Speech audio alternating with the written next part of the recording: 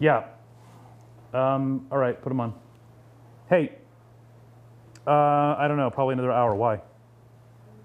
Listen, it's not my problem, okay? Yeah, that's right. It's not my problem, it's their problem. Because I'll tell you what, I'm not going to the set anymore. No, I'm going to sit right here in my office. I'm busy. I'm watching a cut. We won a Peabody. Do you understand? A Peabody. That's right. Do you know they give those things to bishops and popes? Sickening that the world is giving them all these laurels and bestowing them with these things, and now they think they're you know, half decent writers and producers. No, Peabody's that's sort of like uh, uh, Blackwell's list of, of quality writing. Isn't that what the Peabodys are? Now we've won a Peabody, like the world's going to watch our show expecting cutting edge, sort of, um, you know, political, social dramas with human stories, and we're making like, I don't know, That's right, a Peabody. And I'm not going to the set, and I'm not going to any read throughs, and I'm not going any place except right here where I'm going to sit and watch my cut. Well, expectations are high now, you know, like higher than they've ever been. I think you could say across across the world.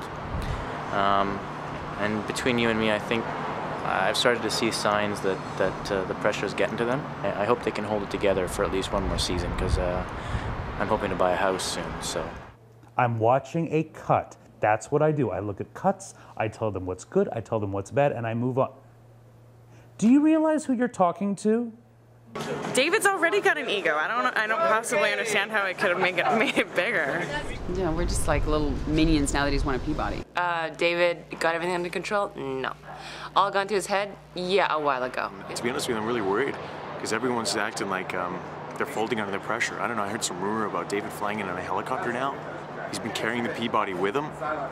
Did you see that? We have a helipad. I'm sure that that's pretty much um, how he's getting to work these days. You know, it's fine.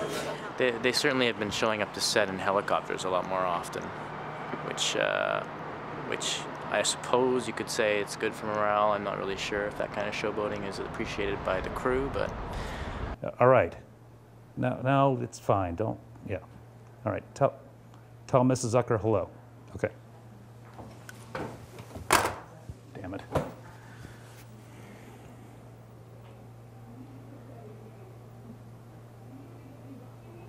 Um, okay, I have to be funny now. I have to No, roast David. Eick. I don't I don't get to hang out with David Eick enough to roast him. I mean, I rub his belly.